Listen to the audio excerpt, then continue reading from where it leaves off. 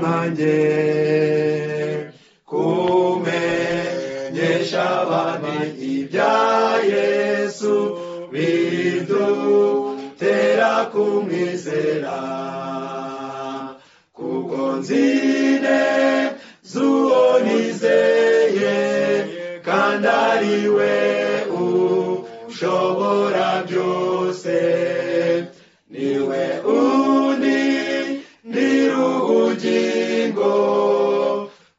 kugeza urya munsi ntabwo nzi icyo nateganirijwe ari cyiza cyangwa ikibi. Imibabaro n'iminsi myiza byose biri imbere yawe. Kuko nzine z'uwo nizeye kandi ari we ushobora byose. Niwe undi ndira ubugingo kugeza urya munsi. Sinzi igihe umwamazazira ndetse nawe azaturuka niba mbana na yesu muri iki gihe nzamusanganira. Kuko nzine z'uwo nizeye kandi ari we ushobora byose. Niwe ndira ubugingo kugeza urya munsi. Mirongo icyenda n'umunani reka tubasabe mubumbure ku indirimbo itowe nonaha ya mirongo cyenda n'umunani. Indirimbo ya mirongo cyenda n'umunani eh, iravuga ngo ndagushaka mukiza we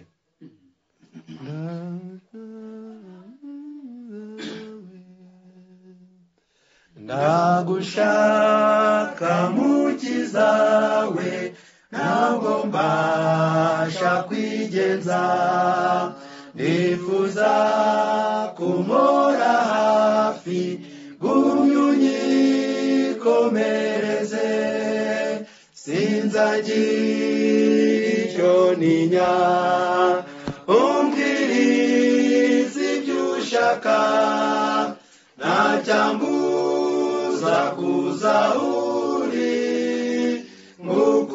ngukurikira ujya ndagushaka mukiza we kuko noroshye cyane. Niwumbwira ibinkomeza nta wundi mbitezeho sinzagira icyo ninya umbwiriza ibyo ushaka ntacyambuza kuza uri ngukurikira ujya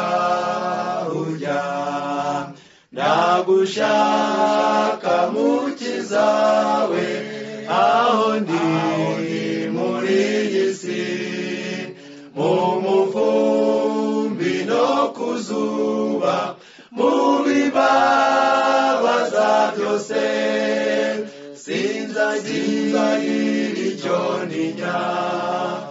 Umbwiriza ibyo ushaka ntacyambuza kuza uri ngukurikira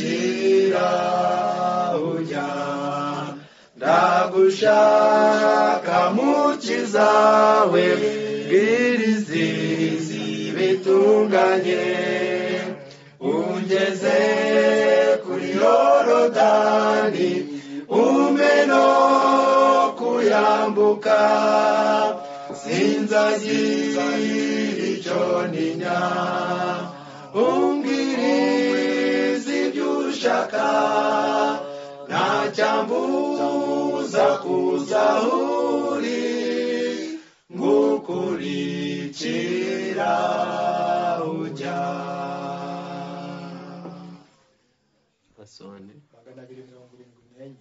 tugeze ku ndirimbo ya magana abiri na mirongo irindwi n'enye.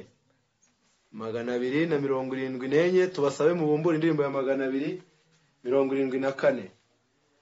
Eh,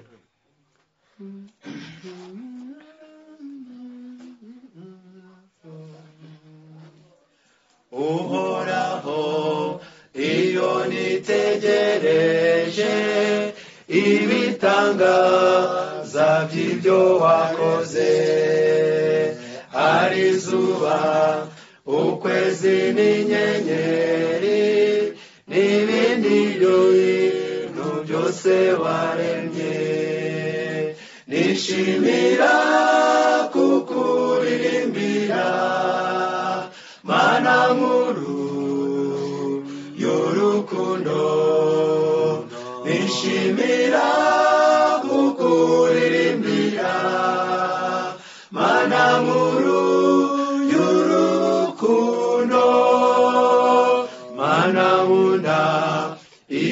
nitegereje igiti cyose mu byo waremye binyibutsa igiti cy'ikarvari umwana wawe yambambiweho nishimira kukuririmbira mana nkuru y'urukundo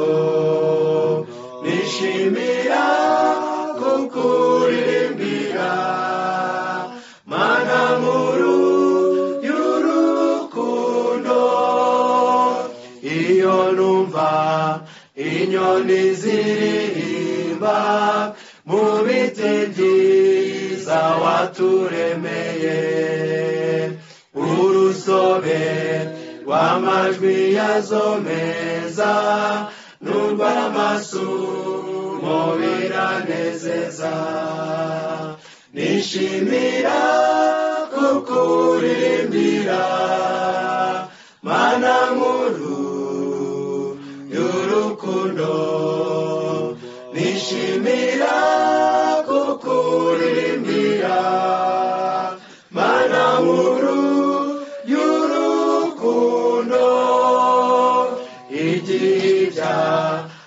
bizaba bishize abera bose bagukikije tuzagusingiza iteka ryose kandi turamye uwatwitangiye nishimira kukuririmbira mana nkuru y'urukundo nishimira kukuririmbira mana nkuru y'urukundo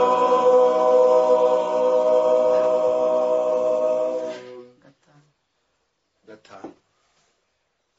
Eh, tugeze ku ndirimbo ya gatanu. Indirimbo ya gatanu. Murinzi wemenyesha igihe.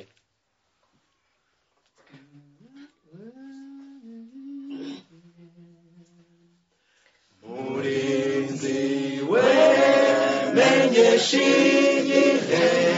Mbese iwacu ni muhero. Ati ijoro ryijimye cyane ariko buracya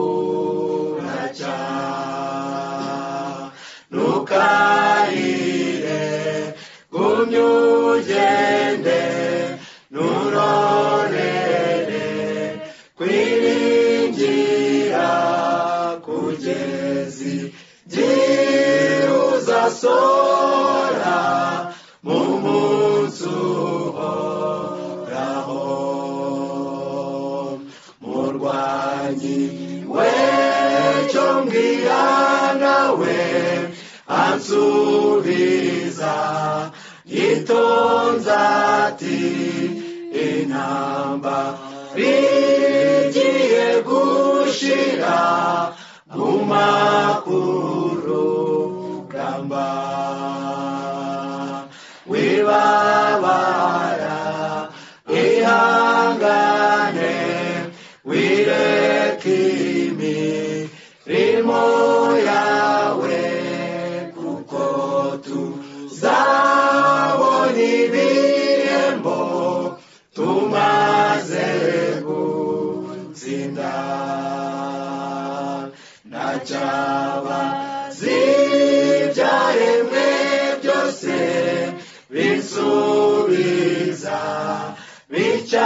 abeti iyisi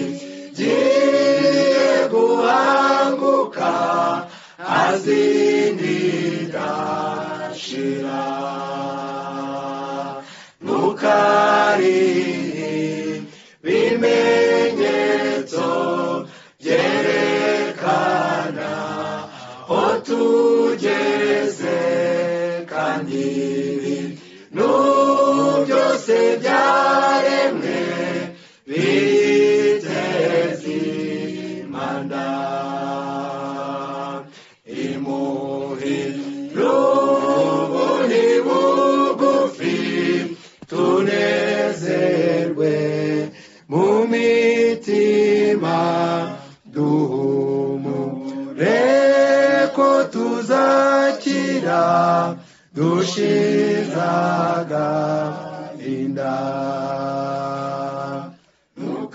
mukarere tuzabana amakuba zabashize ntabwo tuzaburama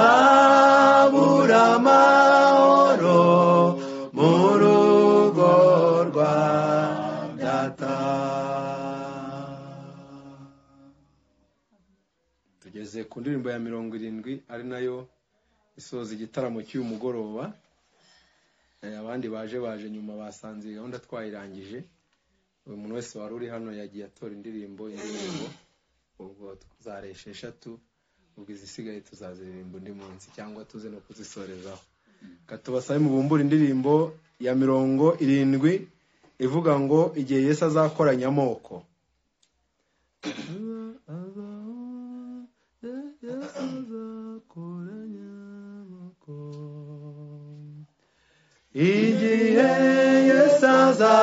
Azakoranya moko ngo ahagarare imbere ye twese tuzagenzwa dute mu manza dutumiwe gutegekwa azahunika ingano mu bigega ariko muramaza usesa twese tuzagenzwa dute mu manza z'uwo munsi wo kuzurwa. Ninde uzumva umukiza mubwira ati uru mugaragu mwiza cyangwa uzamarwa n'ubwo babwiwe ngo hoshi genda ndaguciye azahunika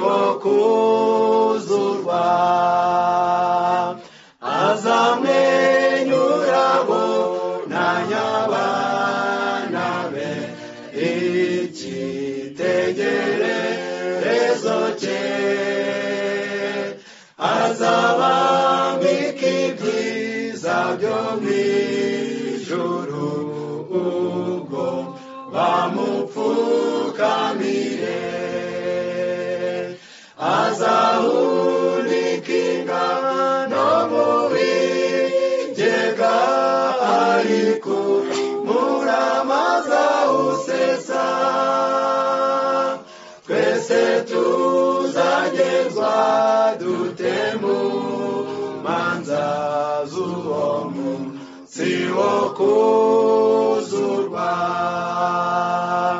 tube maso dutegereze umwami imirimo izigumye zake kugira ngo umumukwazaza sange tumaze kumwitegura azahunika ingano mu bigega ariko muramaza usesa. Twese tuzagenzwa dute mu manza z'uwo munsi wo kuzurwa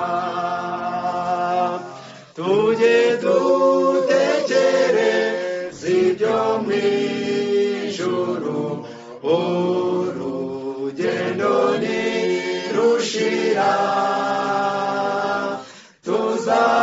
tuzahagarara imbere y'imana niba tutagamburura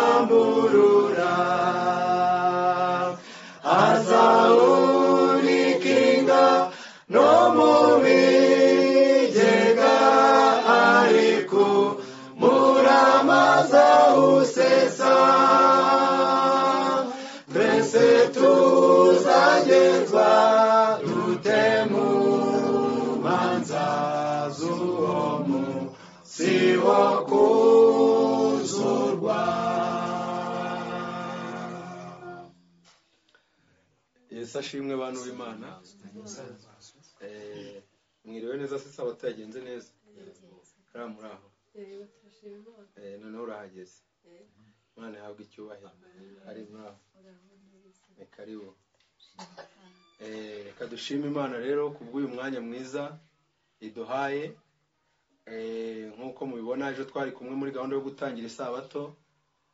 Tuvugana ko turongera kugaruka muri gahunda yo gusoza isabato. Eh, twongeye kugaruka rero muri gahunda yo gusoza isabato. Twaganiraga ku gitabo cy'umugenzi ni cyo gitabo dukunda kuganiraho ku mugoroba gutangira isabato no kuyisoza ubwo rero muri uyu mwanya eh, nkaba mbakiriye iburyo bwanjye hari alice haruguru hari hari olivier haruguru hari mama godi hari nasoni hari tuyishime hari simoni hari grace ndetse eh, n'umutware we muhire nanjye jado.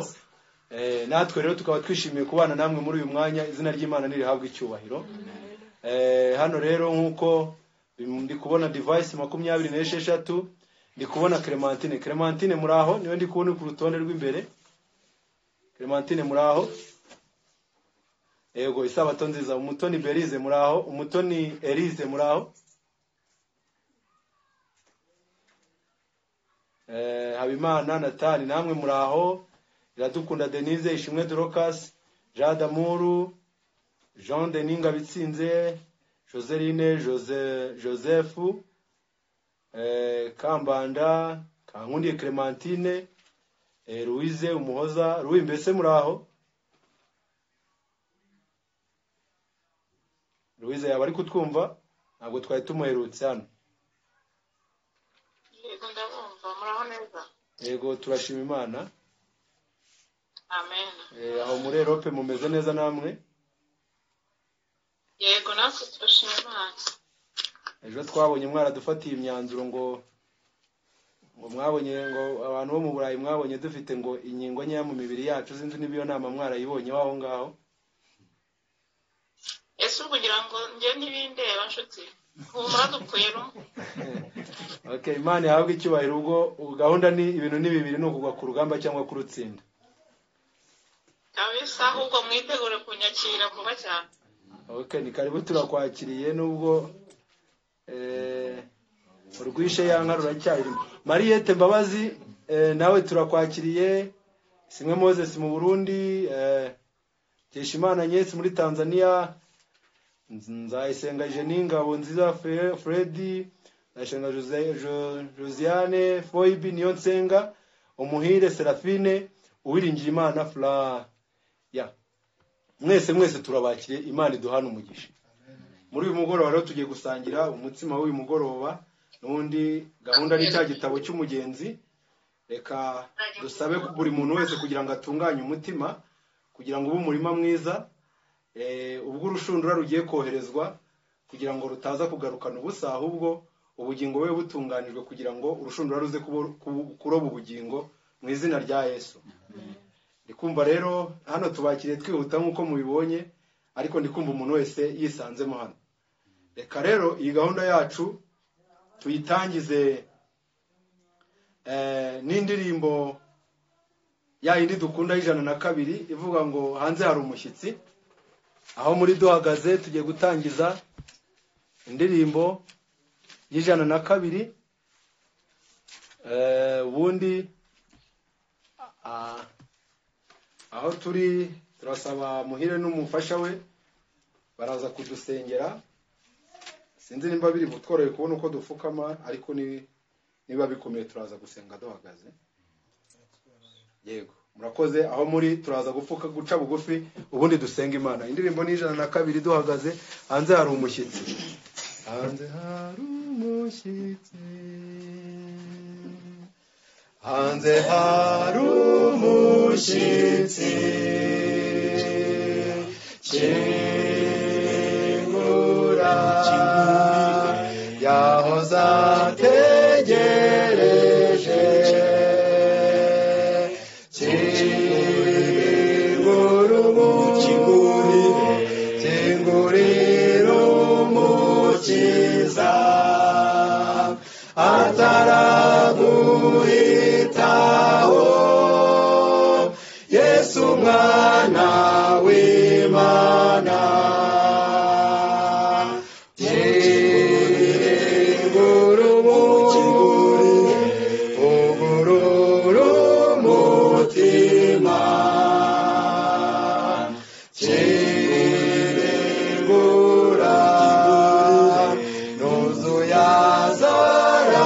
Yeah.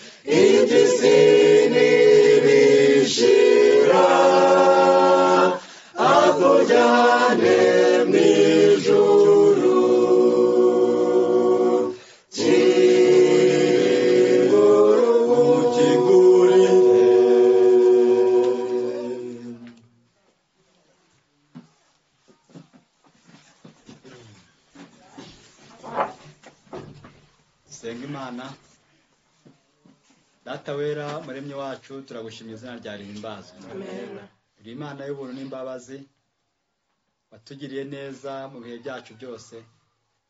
Nta n'umwe muri twebwe wari uzi ko uyu mugoroba w'uyu munsi dusojeho isabato dutangira umunsi wa mbere yaba agihumeka. Turagushimiye kuko ari we wabishatse izina rya rihimbazwa twongeye gushimira kandi yuko waduhaye amahirwe yo guterana turi umuryango mugari ari abo turi kumwe ahangaha mu buryo bugaragara n'abo turi kumwe mu buryo bw'ikoranabuhanga. Mwami ukaduhuriza muri ubu buryo kugira ngo tubashe kwigana ijambo ryawe ubishimirwe mwami. Ni uko mwami imana yacu uzi ibitugora by'uburyo bwinshi ariko twiringiye imana ishobora byose wowe muremyi wacu. Ni uko mwami imana yacu buri wese n'umutwaro we uzi uburyo ugomba kuwumutura kandi kuri buri ruhande buri wese uramusaba kugira ngo akwiringire kandi akwizere. Nuko tugutuye imitwaro yacu kugira ngo widuture kandi utubabarire ibyaha byacu. Uwo ni wo mutwaro mubi kuri twebwe ni wo uturemereye kandi iyo uwo nguwo umaze kuva kuri twebwe no ku bitugu byacu tugenda tunezerewe rwose tudafite na kimwe kituziga. Nuko ukomeze kutugira neza mwami. Ukomeze kutwumva uri mu ijuru kandi ube hagati muri twebwe mu izina rya yesu. Imana yacu Mana idukunda itwitaho ibihe byose izina rye rihimbazwa dukomeje kuba imbere yawe rero kugira ngo tugire neza dukomeze guhabwa umugisha nawe nk'uko wabidusezeraniye mu munsi w'isabato nk'uko uhora utwitaho ukatumenyera ibidukwiriye izina rye rihimbazwa komeza kubana natwe rero ubwo tugiye kwiga ijambo ryawe. Umwuka wawe wera agendere umutima wa buri muntu tubashe kunguka kandi ijambo ryawe ritwubake rwose. Riduteze intambwe kurutaho ibihe dusohoremo ni ibihe bidasanzwe ni ibihe bitoroheye umuntu uwo ari we wese.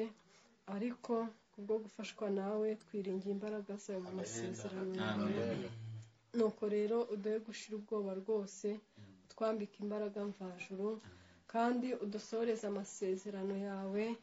Watubwiye yuko nitujya kunyura iburyo cyangwa ibumoso tuzumva ijwi ritubwira ngo iyi abe ariyo nzira. Nuko rero uduhe umwuka wawe wera kugira ngo tubashe gutandukanya ijwi ryawe n'ayandi majwi.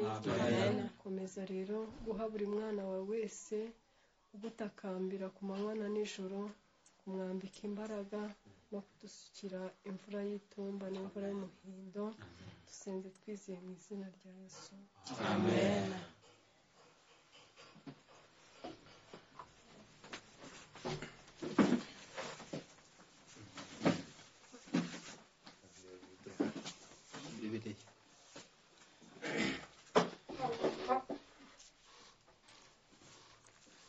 Rero tugiye kuganira nanone ku gitabo cyacu cy'umugenzi.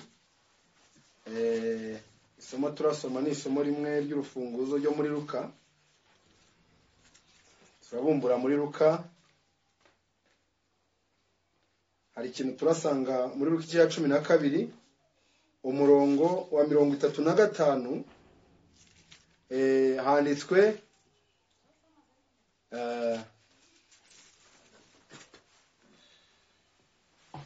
reka nsabe kubika imitwe muri biriya zacu duhurire muri ruka igice cya cumi na kabiri umurongo wa mirongo itatu na gatanu.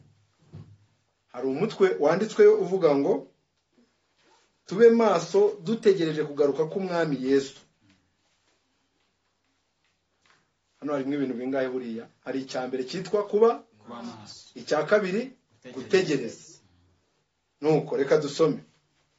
Muhore mukenyeye kandi amatabaza yanyu yake. Ariko muri kubyumva ra? ngo mukenyere ku wa kangahe no ku wa kangahe?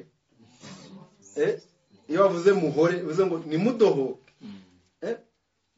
Eh, abasore b'iki gihe twebwe tumenyereye ko basigaye bambara amapantaro atarimo umukandara agenda atsuka. Urumva ariko iyo ugiye mu efeso igice cya gatandatu uhasanga akamaro k'umukandara. Sibyo? Icyo bavuga gukenyera ni ugukenyera ukuri. Muhore mukenyeye. Uri umusirikare aramutse yibeshye akambara ipantaro idafite umukandara. Sibyo? Akagenda akajya ku rugamba yambaye ipantaro idafite umukandara. Agatwara imbunda agatwara amasasu agatwara birya byangombwa byose ariko akambara ipantaro ari kugenda itsuka. Umusirikare yazarwana urugamba. Umukandara ni ikintu gikomeye kuko ni nawe ufataho birya byuma ni we ufataho zirya grenade aba atwaye ni we ufata ufataho ibintu byinshi. Mu butumwa bwiza rero tugarutse mu butumwa bwiza umugenzi wa none nawe asabwa guhora akenyeye umukandara. Umukandara wo gukenyera bavuze gukenyera ukuri. Ngo mu bitabo nibagusuzuma mu ijuru bagasuzuma mu bitabo bageze ku izina ryawe basange uhora ukenyeye hatavuyemo umunsi n'umwe. Ni uko mumere nk'abantu bategereje shebuja aho agarukira ava mu bukwe. Urabyumvise? Mumere nk'abantu bategereje shebuja aho agarukira ava mu bukwe ni uko kugira ngo ubwo azaza nakomanga bamukingurire vuba. Hahirwa abagaragu shebuja azaza agasanga bari maso ndababwira ukuri yuko azakenyera akabicaza akabahereza. Naza mu gicuku cyangwa mu nkoko agasanga bameze batyo. Bazaba bahirwa. Kandi mumenye ibi yuko nyir'inzu yaba yamenyaga igihe umujura azazira yabaye maso ntiyakunze ko inzu icukurwa. Namwe muhore mwiteguye kuko umwana w'umuntu azaza mu gihe mudatekereza. Ninde se ubwo uzabimenya? Hari umuntu ubwo uzabimenya niba ari mu gihe tudatekereza? Ariko tugiriwe inama yo guhora dukenyeye. Niduhora dukenyeye naramuka aje mu gihe tudatekereza azasanga dukenyeye. Sibyo? Ntabwo tuzatungurwa nuko. Eh, mirongo ine na rimwe petero aramubaza ati data databuja uwo mugani nitwe twenyine? Uwuciriye cyangwa ni abantu bose? Mwami yesu aramusubiza ati ninde gisonga gikiranuka cy'ubwenge shebuja? Azasigira abo mu rugo rwe ngo abagerere igero igihe cyaryo. Hahirwa umugaragu shebuja azaza agasanga abikora.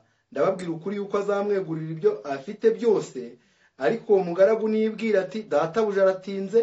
Agatangira gukubita abagaragu n'abaja no kurya no kunywa no gusinda. Bya bindi bigwiriye muri iyi minsi. Ibyangombwa abantu b'iki gihe bujuje. Kwifatanya n'abagaragu babi gukubita kunywa kurya no kugira gute no gusinda. Umva ibi byangombwa umugaragu w'uyu munsi arabyujuje rwose. Nuko shebuja azaza abigenza ati Eh, kandi twari tugeze hera shebuja w'uwo mugaragu azaza umunsi atamutegereje n'igihe atazi amucemo kabiri amuhanane n'abakiranirwa. Kandi uwo mugaragu wari uzi ibyo shebuja ashaka ntiyitegure ngo akore ibyo ashaka. Azakubitwa inkoni nyinshi ariko uwari utabizi agakora ibikwiriye kumuhanisha. Azakubitwa nkeya uwahawe byinshi wese azabazwa byinshi. N'uweguriwe byinshi ni we bazarushaho kwaka byinshi. Ari ubizi ari n'utabizi bose bazakubitwa. Ariko uwari ubizi ntakore ibyo yashinzwe gukora we azakubitwa nyinshi. Tugiye kuganira rero tugaruke ku gitabo cy'umugenzi. Ntabwo turi bujye mu gucukumbura cyane rino somo kuko umwami Yesu arivuga no muri matayo makumyabiri na kane yari ari kuvuga ibimenyetso bizaranga kurimbuka ku isi no kugaruka kwa yesu no kurimbuka kwa yerusalemu. Ni ibintu yakomatanyirije hamwe. Arangije ashyiramo ikimenyetso twahereyeho cyitwa umugaragu mubi. Icyo kintu cya mbere yaherewe ninde mugaragu ukiranuka w'ubwenge shebuja? Aragenda kandi aho ngaho yashyizemo ibika bibiri. Muri yohani cya cumi na gatandatu aravuga ngo icya mbere bazabaca mu masinagogi. Ikizaranga ibyo bimenyetso bazabanza babace hehe mu masinagogi. Ikizakurikiraho mu gice cya kabiri igihe kizagera uzabica wese azibwira ko akoreye imana iki? Ibyo ni ibice bibiri. Icya mbere ni ukubaca mu masinagogi kabiri ni ukubica aho ni umugaragu mubi. Umugaragu mubi aza hari abacibwa hari n'abagize gute? Hari n'abaca. Uri kumva hari uwo bari guca hari ne n'uri kumuca. Ubwo ni umugaragu mubi uri guca abagaragu bagenzi be. Noneho igihe kigere n'aho agiye yaciwe bamusangeyo bamwice ese arabivuga arangije ahita ashyiraho umugani w'abakobwa icumi. Abakobwa icumi buriya bose baba bakubiswe. Bose barakubitwa n'umugaragu mubi ariko aho bigiriye bigiriye gutegereza kugira ngo bicwe naho birangira habonetsemo abakobwa batanu b'abanyabwenge na batanu b'abapfu. Ariko bose barasinzira. Buriya abanyabwenge bo bari ubwenge bafite bwabamariye iki? Ko basinziye n'abapfu bagasinzira. Eh? bose. Eh? hari igihe cyo gusinzira. Ahubwo ibanga ryari ku cyo? Buri muntu wese yasinziranye hari ikintu tubonye hano cyitwa gukubitwa. Ngewe nabonye mu gitabo cy'umugenzi kaba ari njye ubanza wenda. Ariko igihanda bwihebe eh, igihe mukristo na, byiringiro bari bavuye mwizero rwamaze kumwicira mu isoko ry'imburamumaro bahavuye bakubitanye n'igihanda cyitwa bwihebe bayobye inzira gatoya inzira yari ibajijije ifite amayira abiri barayoba binjira mu gikingi cy'igihanda bwihebe. Cyabamaranye amajoro ane. N'amanywa ane kibakubita cyabashyize mu kazu. Kirabakubita kandi ngo iyo nzira byiringiro yari yayikemanze aravuga ati waretse tukanyura hano kureba iyi ngiyi ishobora kuba iyobye arangije aravuga ati eh atoya tunyura hano iyi ngiyi nayibonye niyo nzira noneho ngo icyo byiringiro yanze kumubwira yanze ngo kumurwanya kubera ko ngo ari we mukuru muri iyo nzira. Aravuga ati kuva ari we mukuru muri iyo nzira reka mureke dukomeze tugenda ariko bamaze guta inzira. Kumva icyo kintu bazize binjira mu gihanda igihanda kikaba kigisha umugore wacyo inama kikabakubita kikabakubita. Icyo kintu nabonye iryo joro ayo majoro ane bahamaze. Bahuye n'ibihe bibi kandi ayo majoro ikintu gitangaje mwaho ni uko bakubiswe kandi bafite urufunguzo rufungura aho bari bafungiye muri icyo giha eh, mu- muri iyo nkingi y'icyo gihanda kandi urwo rufunguzo rwari amasezerano imana yari yarasezeranye. Eh, aho naso umugenzi we ni iki gitangaje nko mu mugenzi? Ukurikije baravuze ngo umugaragu wari ubizi. Agakora azakubitwa nyinshi ariko utari ubizi ntabikore. Nawe azakubitwa ariko azakubitwa nkeya ni icyo ufite mu mugenzi. Njyewe nkunda intangiriro cyane. Mm. nkunda intangiriro cyane kuva duherukana kuganira ku mugenzi. Eh, amaze iminsi nkomeza kwi- kwitegereza umugabo witwaga nyamurya nino. Mm. Eh, umugabo witwaga nyamurya nino yabonye umukristo afashe umwanzuro ngira ngo simoni yigeze abivugaho cyane yimbika ku byerekeranye na mukristo uburyo yafashe umwanzuro akemera gusiga byose hanyuma nyamurya nino nawe aramukurikira. Ariko amukurikira adafite gahunda y'urugendo. Ahubwo amukurikira afite gahunda yo kumugarura ngo asubire iwe mu rugo hanyuma aza kumva ubutumwa mukristo avuga arashiduka. Kubw'ibyiza yumvishe biriyo. Atumbira ibyiza biriyo aho bari kujya aho ntiyumva neza ibiri mu rugendo. Baragenda ngo igihe baganiraga batwawe. Bibona mu isaha y'agahinda gasaze Ah, umugabo nyamurya nino yisayuye asubirayo ariko umukristo we yisayura akomeza. Hari ikintu mbona kimaze n'iminsi ubwo no gukomeza gutekereza kuri icyo kintu abantu benshi cyane bamaze igihe kandi ni batwebwe ababwiriza bamaze igihe bongera ku gusa nk'aho bivuguruza ko kuremererwa n'umutwaro w'icyaha ari ibintu kristo we yakoze byarangiye. Ariko icyatumye umukristo yisayura akomeza kujya mbere ni uko yari afite ikibazo kandi yifuza ko kigomba gukemukira ku musaraba. Naho uriya mugabo nyamurya nino nta kintu nta kintu cyatumaga afata urugendo. Abonye akaga gato cyane gato cyane. Afata inzira yisayura asubirayo. Nyamara kandi ngo mu mudugudu w'iwabo yabaye hari umuntu uhorana ipfunwe Eh, n'ubundi nta jambo agira mu bandi. Yego. Simo ababyumvise ibya nyamurya nino. Wowe hari ikindi kintu cyagutangaje mu mugenzi? Ubona cyanditswemo aho ngaho ariko uyu munsi kikaba gisa nk'ikiri kugaruka nk'uyu munsi wa none mukuru kw'iki gihe. Ibya byose ntabwo najya kure y'uwo muvandimwe ahantu yavuze kuri nyamu- nyamurya nino ndetse na mukristo. Iyo urebye ugasanga eh, abantu batita ku magambo umukiza yavuze yesu kirisito yavuze amagambo akomeye avuga ngo nta muntu wajya kubaka inzu y'amatafari ndende. Noneho ngo najya kubaka inzu y'amatafari umukiza avangwa ndende. Ndende? Ngo noneho narangiza ananiwe kubara impiya? Ngo ananirwe kubara impiya? Iyo nzu izatwara? Noneho ngo aba akoze ikintu cy'ubwenge. Natabibara azayitangira ni byo. Ariko nibigera hagati kuko ataticaye ngo abare bizamunanira. Nibimara kumunanira ngo abantu bazajya bamunyuraho abahisi n'abagenzi noneho nibarangiza bamuseke. Bavuga ati ariko si umuntu ubundi yajyaga guterura inzu. Ndabona urufatiro rwayo ni rurerure kandi kuko yarabisobanukiwe ko ari ndende. Kubera iki? Aticaye. Se yara urufatiro ukuntu rungana. Urumva? Ukuntu rungana dore ikibanza. Ikibanza. Ubundi ubutumwa bwiza nyine bugiye kwigishwa. Mu by'ukuri ubutumwa bwiza bwerekana inzira. Nta rujijo ruba ruhari. Ah, ikibabaje rero ni ukuticara ngo wanze wumve neza icyo ubutumwa bwiza bugusaba.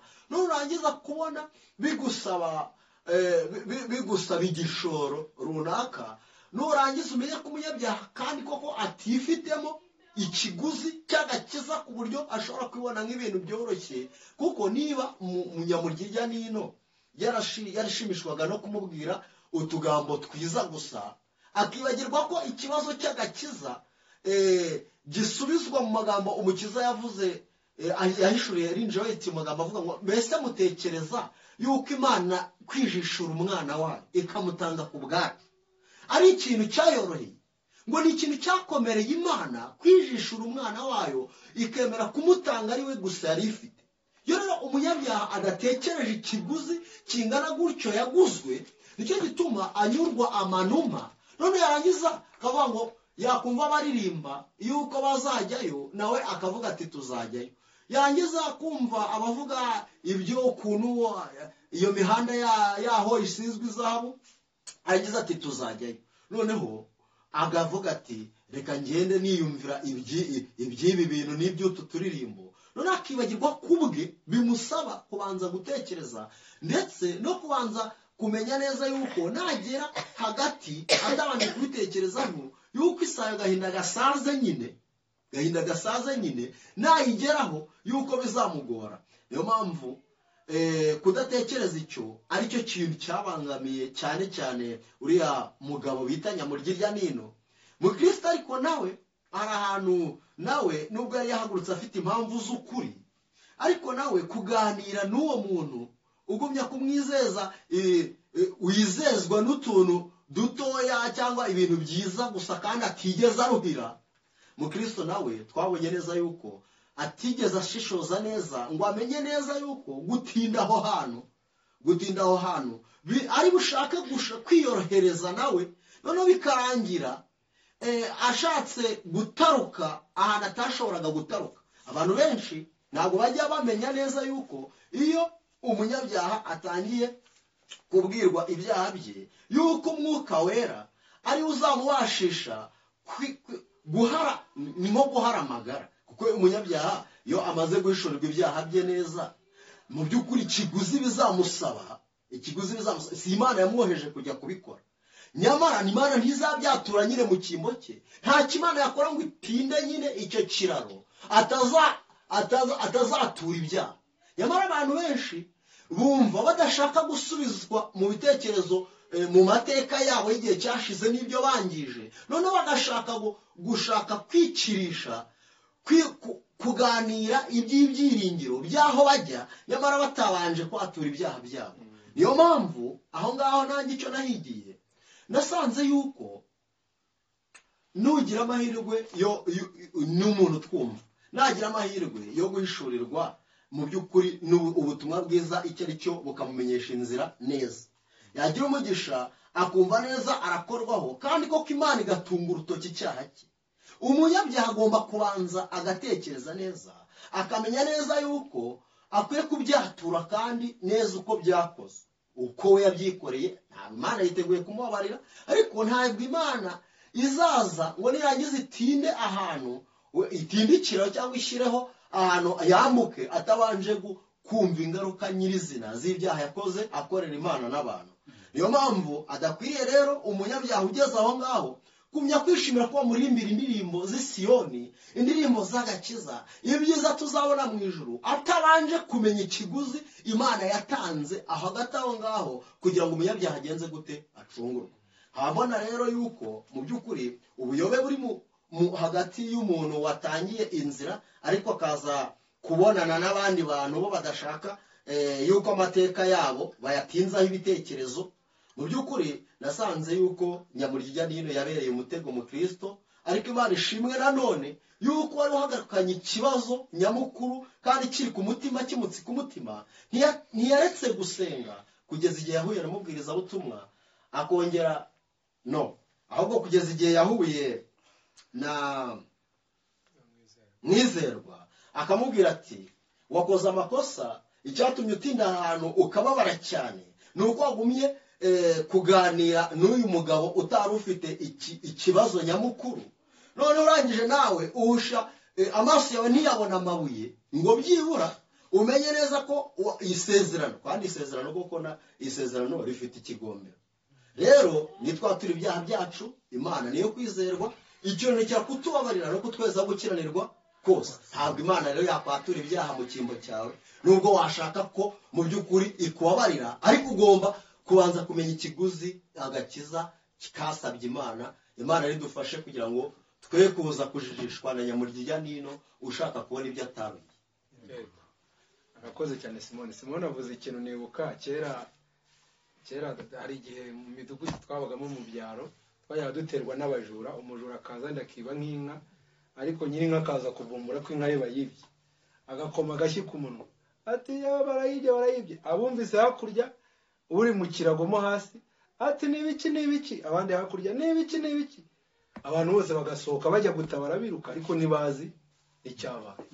Inzira rero na yo igiye irimo abantu bita abavuza nduru bari gutaka batazi ikibazo cyabaye ufite inka nyiri inka we. Hari abantu babanza gutega amatwi neza bavuga ati "Eh, yo kwa runaka barayibye. Ariko harimo abikiriza gusa ukumva ku misozi bari kwikiranya ati barayibye. Ariko mu by'ukuri batazi hari ukaba ari umuhura bavuga ati ni ihene undi ati ni inka undi ati ni iki n'iki harimo abantu baba batazi n'ibyo ari byo bapfa kwikiriza gusa ba nyamurya nino ubwo rero eh, uwiteka dufashe kugira ngo natwe tutagenda nk'abo ngabo bavuza akamo eh, twishime hari icyo ushaka kuvuga nawe? ntabwo byabura ntabwo nabura ikintu navuga ku gitabo cy'umugenzi. Mm. iki gitabo ni icy'umugenzi koko. Impamvu kirimo ibintu byinshi ah, bitubera amabuye yo gutarukiraho kuri twe. Uyu munsi rero muri byinshi biri muri iki gitabo cy'umugenzi ndashaka kuvuga ibintu byamfashije. Ahari n'umwe muri mu bo turi kumwe byamufasha cyangwa n'uri kutwumva bikamufasha.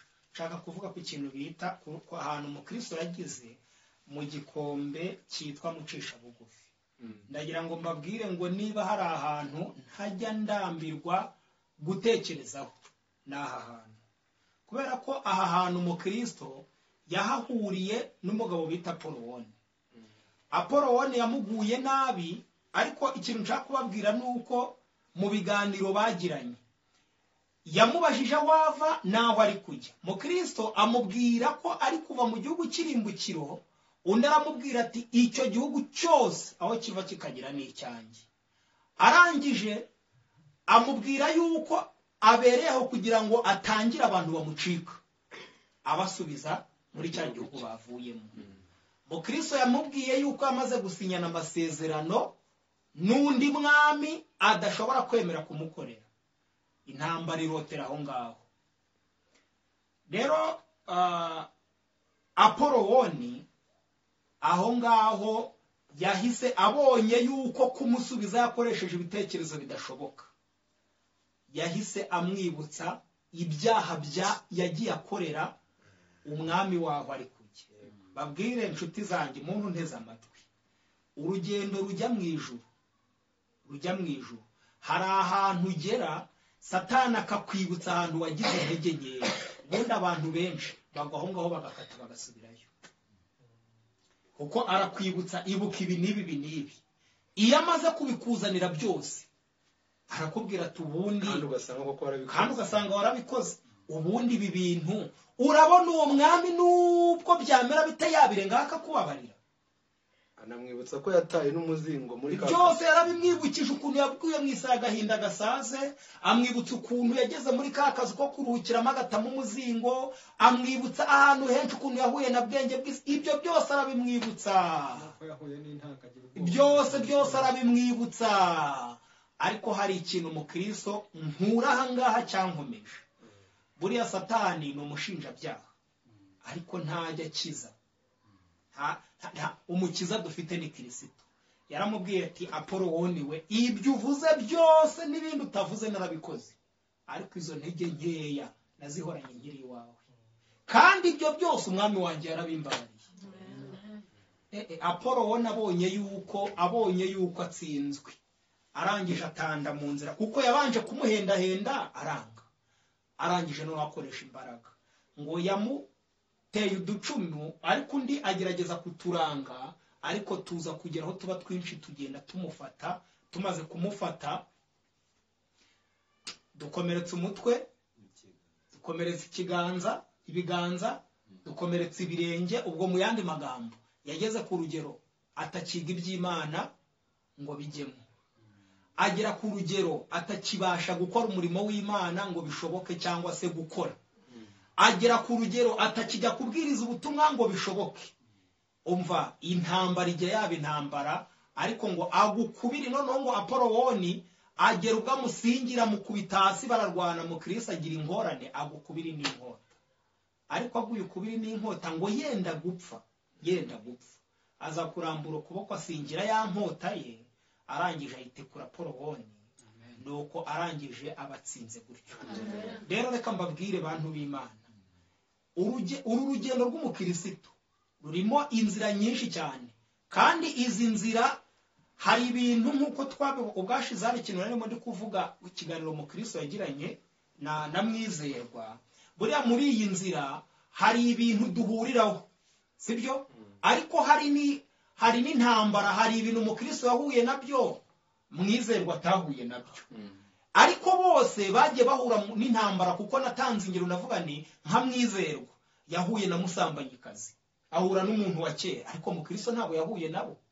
Mukristo yahuye na za ntare. Ariko mwizerwa we ibyo ntabwo yigeze ahura na byo. Ariko tugeze ahangaha cyane nko kuri iki kintu cy'iki gikombe mucisha bugufi. Ndagira ngo mbabwire ko nta mugenzi ushobora kugenda ngo abure kunyura aha hantu aho satani azagera igihe akamwibukiriza ibi bintu uretse n'ibyo natwe niyo twiga n'uko tumeze n'imbere yacu aha ngaha. Hari icyigisho bajya ba- tujya twiga cyitwa igihe cy'umubabaro wa yakobo. Aho satani azibutsa abantu intege nke n'ibyaha bagiye bakora ariyo mpamvu ibyaha bitatuwe ngo birekwe. Abantu icyo gihe bazibutswa ibyo bintu abazaba bataratandukanye na byo. Ndagira ngo mbabwire ko icyo kintu kizabagora. Ndagira ngo wenda nsoreze ku- ku- kuri aya magambo ari mu gitabo cy'ibyaduka byo minsi y'imperuka ku ngingo ya magana inani mirongo itandatu n'enye aho bavuze ngo mu gihe cy'akaga. Satani ahagurutsa ababi maze bagota ubwoko bw'imana bagira ngo babutsembeho ariko ntabwo azi ko iri jambo ngo yarababariwe.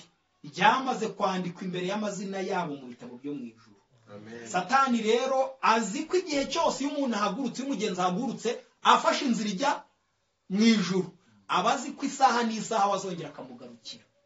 Ndagira ngo rero mbwire abantu aya magambo yaramfashije Ah, uburyo mukristo yamenye kugira neza kw'imana kandi agashikama ku rukundo rw'imana no mu gihe yari ari mu kaga kameze gutyo byatuma abasha gutsinda kiriya kigeragezo. Mu gihe abantu benshi bahita bacika intege bakabivamo ati n'ubundi urugendo sinzarurangiza. Aha hantu haguye abantu benshi. Imana idufashe. Wese nta kintu ubonamo hariya mu cyagiye kigufasha? Eh, muri uyu mugenzi nanjye mfite ibintu byagiye bimfasha bikomeye cyane. Hari indirimbo tugira ivuga ngo icyampa umuriro waka wajya urabane- urabagiranira mu bera ba kera bose. Iyo ndirimbo ni indirimbo nziza. Kandi nibwira ko buri mugenzi wese uri mu rugendo nawe yifuza yuko uwo muriro warabagiranira muri we ndagira ngo nagiye kure ku byo tishima amaze kuvuga. Uyu ubwo mukirisitu yari amaze kuva guta umutwaro we. Yahuye na musobanuzi. Musobanuzi aramubwira ati ngwino nkwereke ibintu byinshi bizakugira umumaro. Eh, atangira amubwira ngira ngo ni ibintu hagira nko muri birindwi. Ariko nagira ngo mvuge ku kintu kimwe. Aho yageze aramubwira ati yahereye ku kintu cya mbere yamweretse igishushanyo cy'umuntu ngo uraramye ureba hehe mu ijuru. Ngo ikamba riri ku mutwe we afite eh, umuzingo hafi n'ibiki byose. Amubwira ibintu byinshi ngo asa ngo n'uwiginga abantu cyane. Aramubwira ati uyu muntu ni umuntu w'inyamibwa mu bandi bantu. Ariko noneho si uwo nguwo nshaka gutindaho nubwo uwo muntu nawe atangaje kandi ari inyamibwa koko. Natwe dukeneye kuba nk'uwo nguwo. Kuko ni cyo twararikiwe. Ku muntu wundi yamubwiye ati ngo yafashe mukirisitu amujyana amufata mu ntoki amujyana ahantu hari umuriro waka mu nkike y'amabuye. Harimo umuriro waka mu nkike y'amabuye. Hanyuma arangije ngo abone uwo muntu umuntu uhagazeho udatuza kuwusukaho amazi menshi. Ngo awuzimye ariko umuriro ukarushaho kwaka cyane. Sibyo? Hari umuntu wagira gute? Warushagaho kugira gute? Gusuka amazi. muri ya nkike y'umuriro. Kandi uwo muntu ntaho atandukanye na paul woni ntaho atandukanye na paul woni yaravuze ngo uyu muriro ni umuriro ni umurimo w'ubuntu bw'imana. Bukorera mu mitima yacu. Usukamo amazi ngo awuzimye ni satani. Ariko igituma umuriro ukomeza kwaka nu- nubwo awusukamo amazi ndakikwereka ngwino urebe. Ngwino wirebere amujyana inyuma y'inkike asangayo undi muntu ufite imperezo y'amavuta akajya ayasuka mu muriro rwihishwa Rwi yamusukaga yasukaga ama- umu- ama- a- amavuta.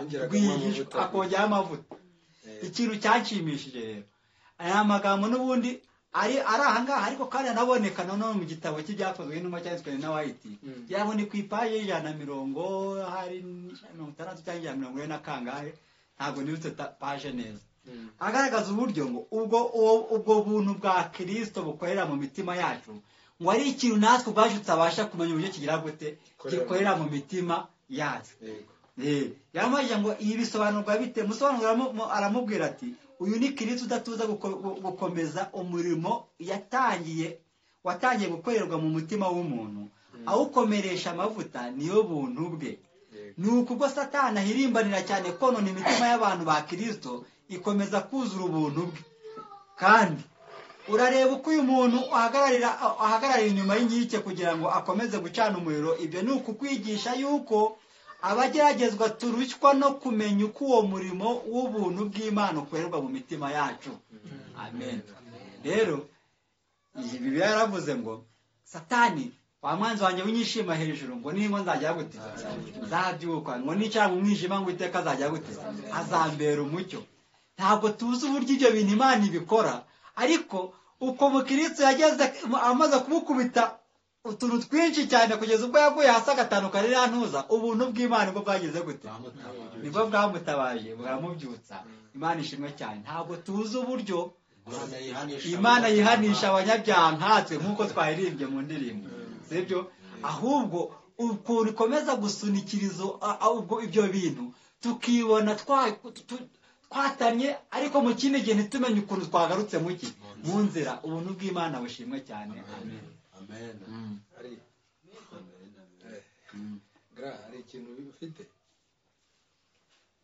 Ku bijyanye no- n'igitabo cy'umugenzi ntabwo ntabwo wenda nakirangije cyane ariko harimo ibyo bavuze nanjye ntari busubiremo ariko hari ahantu hari ahantu umukristo yageze agera ku muntu wari uri mu kazitiro noneho bamusobanurira iby'uwo muntu.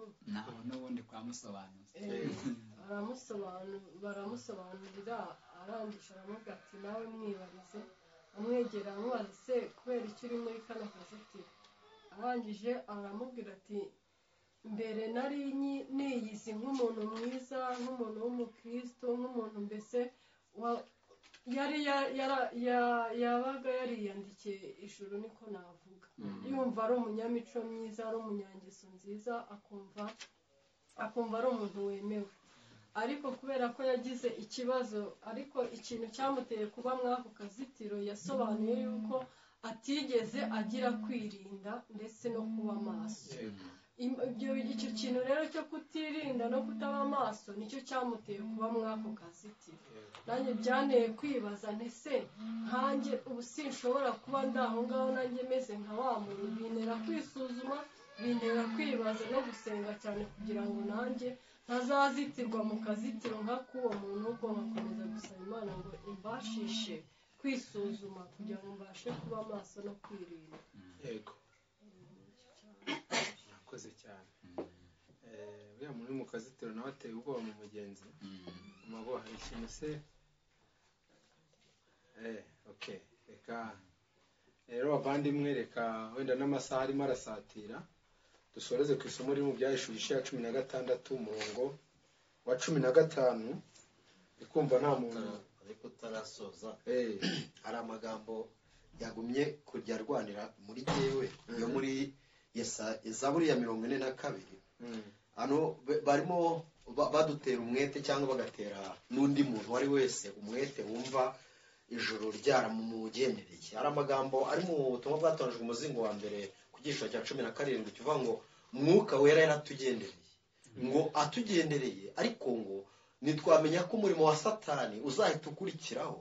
Wo guhindura umucyo twakiriye ngo awuhindure umwijima.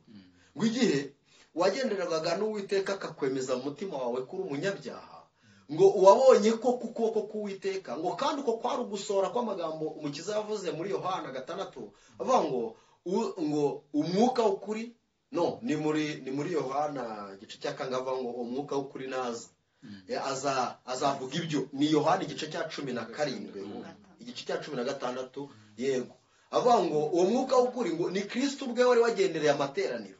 Rero ngo ariko hari abantu batigeze babyaza uwo mugisha eh, eh, mwo inyungu. Noneho ngo n'abari bamaze kwakira uwo mu- uwo mugisha bamenye ko uwiteka agendera itorero rye ngo ntabwo bigeze basenga kugira ngo bamenye ko satani azahita abiba iki? Umwijima. N'ahandi dusanga rero dusanga yuko hari abantu benshi bakozweho n'umwuka wera bemezwa ibyaha byabo mu mitima yabo ndetse batangira no gushaka uburyo bagisha inama nk'uko mu byakozwe n'umwe bivuga ngo ni uko petero bamugisha inama abwira abo bantu ati nimwihane ibyaha byanyu namwe muzahabwe kuri iyi mpano ya mwuka wera.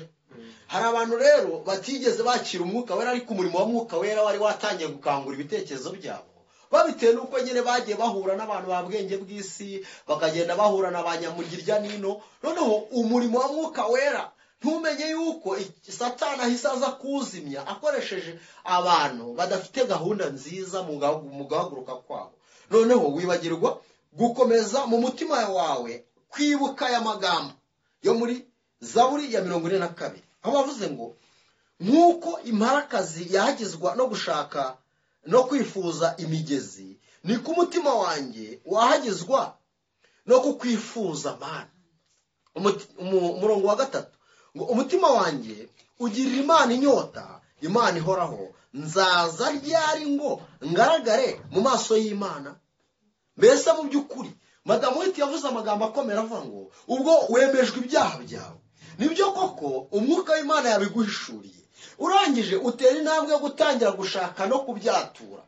Ariko niba umaze kwatura ibyaha byawe ntugahite uhaguruka ngo ugende gusa. Bavuze ngo noneho sanga yesu. Noneho akubabarire ibyaha. Eh, ni watuye ibyaha ni byo. Ngo ariko komeza uwo mugambi watangiye. Ntukagende gusa ahubwo noneho ngo sanga yesu umaze kubyatura ngo noneho ngo sanga yesu akubabarire iki? Kuko mwuka wera yakwemeje ibyaha ni byo. Kandi arabigushira agutiye n'imbaraga zo kubyatura. Ariko ntabwo mwuka wera yigeze agupfira. Kirisito ni we ukwiriye gusanga mwuka wera agushoreye koko n'ijambo rye kugeza igihe kirisito azagukorera ikintu kizima cyo kumenya ko ibyaha byawe ari byo nubwo wamubambye ukamwica ariko ko akubwira ngo ibyo wabikoze kugira ngo wabinkoreye kugira ngo ukire. Noneho ngo uze aho ndi rero sinzamwirukana genda amahoro. Utarumva ibyo bikorwa ni byo kuko mwuka wera yakuyoboye mu ijambo ry'imana. Ariko hari icyo kirisito agomba gukora ni ukugukuraho urubanza rw'ibyaha byawe. Rero gumya ugende ufite cya kibazo kugeza igihe usenga uvuga uti mana nzagera imbere yawe mbere y'amaso yawe ryari? Kugira ngo mbashe kubona uyu mugisha noneho ngutunge ubu wanjye niyo mpamvu hano bavuze ku murongo wa kane ngo ama amarira yanjye niyo yambereye nk'ibyo kurya ku manywa na nijoro. Kandi haba ba- bahora bambaza umunsi ukira bati imana yawe irihe? Rero reka imana eh, mukubitane rwose muhure mucakirane noneho cya kindi ibiyoberana byo mu mategeko imana na byo ibigukorere uburyo umunyabyaha ashobora gukurwaho urubanza rw'ibyaha n'uwo yiyiciye. Eh, none icyo gikorwa imana ikigukorera reka rero ntucikishirize uwo murimo. Hakoreshejwe amajwi aza yirwa agenda aku- eh, aguteshura inzira. Niba watangiye kwinginga gumya winginge kugeza igihe igishyitse kiremerwa muri wowe mu izina rya yesu. Barakoze cyane. Twari dushoje ku isomo ryo mu byaje ya cumi na gatandatu umurongo wa cumi na gatanu havuga ngo dore nzaza nk'umujura hahirwa uba amaso akarinda imyenda ye kugira ngo atagenda yambaye ubusa bakareba isoni z'ubwambure bwe isomo rirakomeye cyane. Dore nzaza nk'umujura umuntu uhiriwe rero nubwo nzaza nk'umujura. Nuba amaso akarinda imyenda ye. Ni iyi shati ya muhire? Ni iyihe myenda? Ikanzu yesu yambika umunyabyaha. Iyo kanzu niyo ikwiye kurindwa igahora imeswa mu maraso ya yesu. Igahora yera hahirwa uba amaso akarinda iyo myenda ye kugira ngo atagenda yambaye ubundi se mbere yuko agenda yambaye ubusa ubundi yari yambaye iki? Eh? Ata- atagenda yambaye ubusa ubundi umuntu aba yambaye iki? Eh? yari yambaye ubusa ubwo nagenda. Ahubwo icyo kirisito agomba gukora ni uko kirisito naza na ya myenda abantu bihimbiye nimba muzi icyo twaganiyeho ku mu eh, uriya mu muhungu wi- wi- witwa barutimayo yahumuye agiye kwegera yesu ngo yarabanje ati imyenda ye. Kubyumva? Guta imyenda ye ni uko uwegera yesu wese akwiriye kubanza guta imyenda ye. Ataye imyenda ye rero yegera yesu. Hahirwa amaso rero akarinda imyenda ye kugira ngo atagenda yambaye ariko uri kumva kuvuga aho ngaho bavuga ngo ubusa Eh, urumva ko ni ni imyenda. Nubwo ari ubusa. Rega ni imyenda ariko ntabwo ihisha isoni z'ubwambure. Ariko hari ahantu ishobora gupfuka ikajijisha abantu nko mu gihe runaka. Ubwo rero aho hantu baba bavuze ngo ni imyambaro y'ibizinga ariko irapfumuye. Eh, irapfumaguye igeze ukuntu yanduye iyo ikaba ifite n'intoboro ku buryo umuntu aturuka iriya nyine akajya arebamo agahingutsa nk'iriya. Ariko we nuba ubizi. Yego ariko bya ni imyenda kuko nawe yarakuruhije urimo uyi- uyidodera uyihimbira. Ariko ihangane uyijugunye oya yijugunye ijugunye ariko uri kumva icyiza cy'iyo myenda nka hano umuntu yambaye iyo myenda ntabwo wapfa kumuvuma. Eh, ikimufasha ikigufasha iyo wayiremye uraza ukavuga neza ukaza waguha indirimbo ukayizamura waguha isengesho ukarisenga. Ati mana waradutsindishirije abantu koko bakagira ngo byarabaye. Ariko uriya mbere y'uko ihumuka yarabanje imyenda yayo irangije yegera yesu. Yegereye yesu yayambitse indi myenda. Iyi myenda rero ni na yo umukristo yambitswe akimara kugera ku musaraba. Hahirwa uba amaso rero akarinda imyenda ye mureke iyi nkuru nibe nko guca umugani kuri twebwe.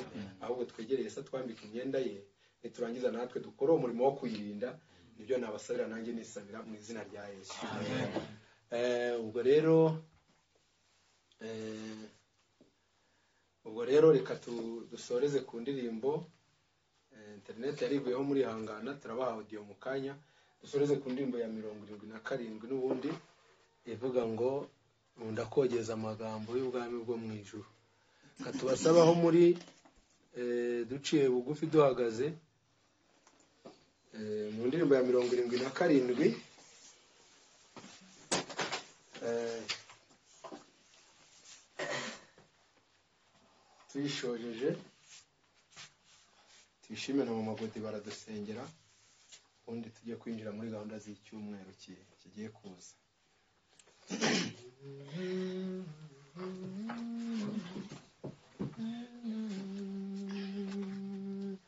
Nkunda kugeza amagambo y'ubwami bwo mu ijoro ya yesu nishimwe yesu n'urukundo rwe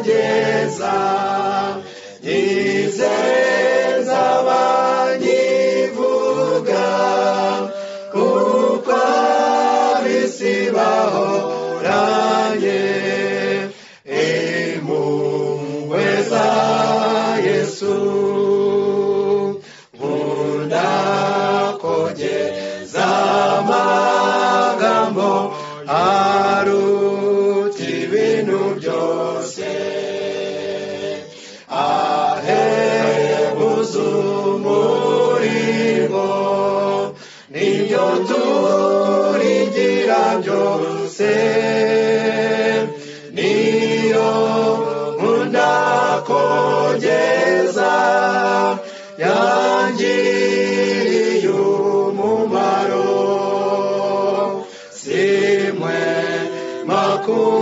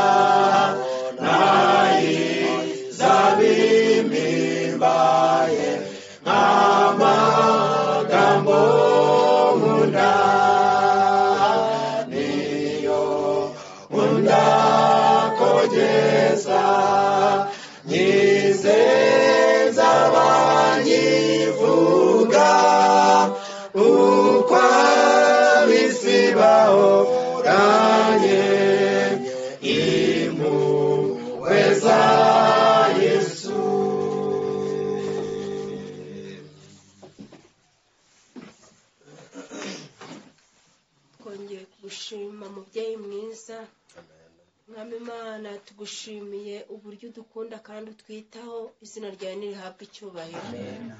Tugushimiye uburyo waturinze muri iyi sabato isabato ikaba irangiye twese turi amahoro intekerezo zacu zikiri nzima kandi hari benshi bamaze kujya ahacecekerwa hari benshi ibyabo byamaze kwibagirana.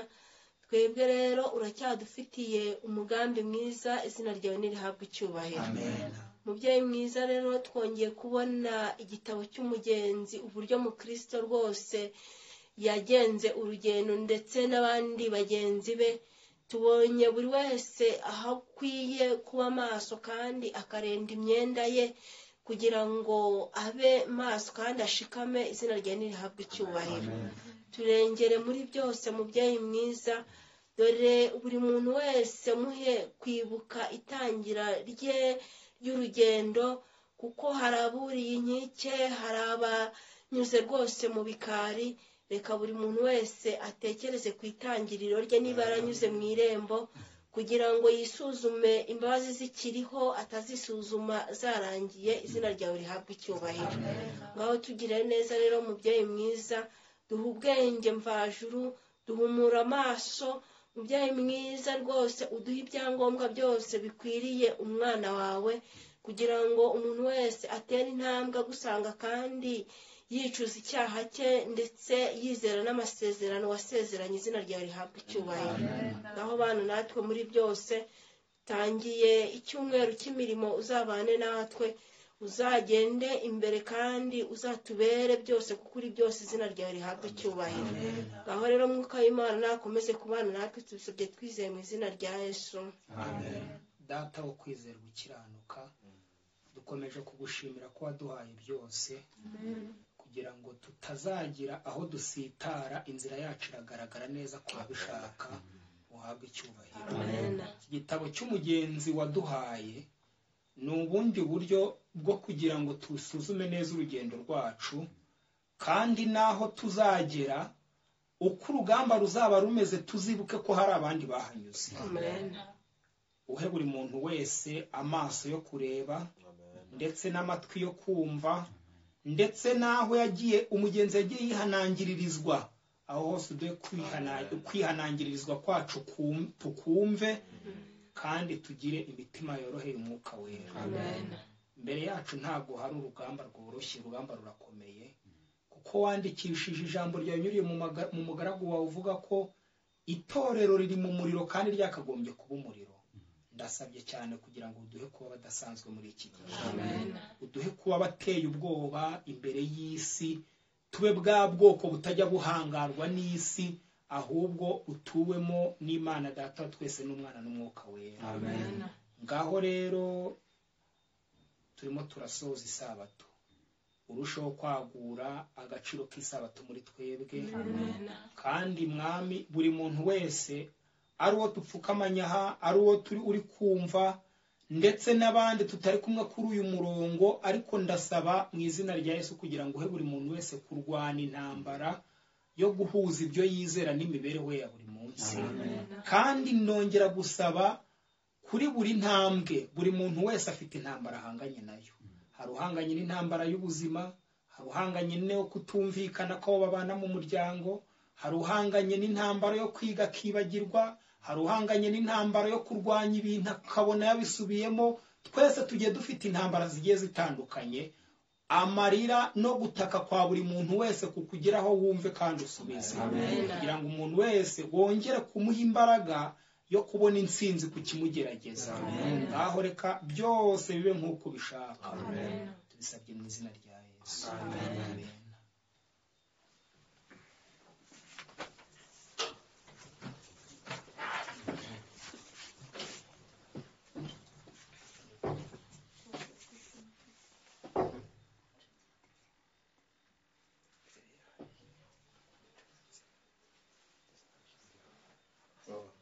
Ese ashimwe abantu b'imana. Reka rero iri teraniro ry'uyu munsi turisoreza aha ngaha. Aho byageze interineti ikavaho turaza kubaha odiyo gusa gahunda twagize imbogamizi kuri gahunda twari dufite ku isabato twari dufite gahunda yo kwirirwamo no kuraramo. Ubwo rero aho turi twebwe twagize imbogamizi turifuza kuyibabwira. Hazabera mobilizasiyo y'amatora. Kandi ahanini interineti bakunze kuba amanetiwaka bakunze ku turi iruhande rw'ikibuga nyine kizaberaho iyo mobilization. Bakunze kuba network bari kuzigenzura cyangwa se bakazi bakazikuraho. Ubwo rero twebwe dufite icyo kibazo. Eh, usibye ko nta nubwo umutekano wacu waba wizewe nyine kuko dushobora kuhahurira n'ibibazo bijyanye n'icyo kintu. Ubwo rero ntabwo uwo munsi ayo materaniro tuzayakora ahubwo ku isabato tuzava mu gitondo tugeze saa sita dusoreze aho ngaho. Sibyo byaba byiza? Eh, noneho ibisigaye eh, tuza tuzabipanga ikindi gihe tuzongera dushaka undi munsi w'amasengesho yo kuraramo. Ariko merikeredi dufite iteraniro rigufiya ku mugoroba eh, ry'amasaha nk'abiri merikeredi ubwo ngubwo abazaboneka mu baranga turabararitse. Ikindi ibitabo by'intambara ikomeye turi kohereza muri malawi mu ivugabutumwa rigiye kuhabera sinzi nimba antoinette hari kugira ngo atubwire aduhe raporo ariko ndi kubona ntawe uhari. Arayiduhera muri gurupe ariko urakomeza kubona igitabo yakohereza yakoherezayo inomero ni ya yindi. Ubundi mwakoze kuza uwiteka abahire kandi abaho umugisha mu izina rya yesu. Naho ku wa gatatu merikedi abazaboneka cyangwa ku isabato abazaboneka ibintu ni bingahe? Ni ibihe kugwa ku rugamba cyangwa no gutsinda byose ni byiza bayi